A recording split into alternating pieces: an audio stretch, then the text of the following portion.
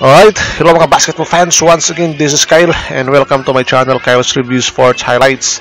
And for today's video, pag-usapan natin itong just ended game, a very exciting game between the Barangay Ginebra San Miguel versus Stoke Antics for the PBA Commissioner's Cup semifinals mga basketball fans.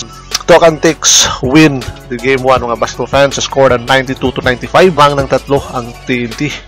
Pero sa video na ito mga basketball fans, uh, pag-usapan natin itong wrong call no, natawag kay Terence Jones kung saan isa nga sa mga dahilan kung bakit nanalo itong TNT. Alright. So, ang nangyari ng mga basketball fans sa itong Barangay Ginebra San Miguel ay lamang ng pito sa 5 minutes left and 39 seconds 5 minutes and 39 seconds left sa fourth quarter. Okay? So, lamang ng pito ang Barangay Ginebra dito mga basketball fans. At saka ang momentum nila ay nasa kanila na. Okay? Going to the win na itong Barangay Ginebra.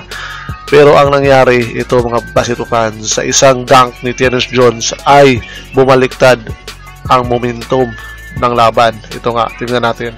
Okay. So, one-on-one sila ni, ni LA Tenorio, itong si Terence Jones.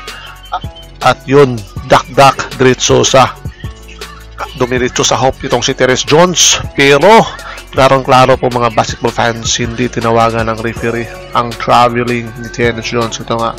Okay, so titingnan natin ito mabuti mga basketball fans in slow motion. 1, 2, 3. Ayun. So, yun nga mga basketball fans, walang tawag doon. At saka, because of that dunk, bumaliktad ang momentum ng laro at tuloy-tuloy na gumanda na ang, la, ang mga gumanda na ang shooting ng Tikitix at itong Hinibra parang minamalas na after that dunk so yun ang ending natalo ang Hinibra mga basketball fans. Score na 20 to 95 alright? So anong masasabi nyo sa game 1 mga basketball fans? Okay so doon nga mayroong wrong call. Ah, hindi tinawagan. Na klarong-klarong traveling ni Terence Jones. Okay So, yun. Uh, comment your opinion mga basketball fans para pag-usapan natin yan basahan natin. Okay, so once again, this is Kyle and thank you for watching. Goodbye.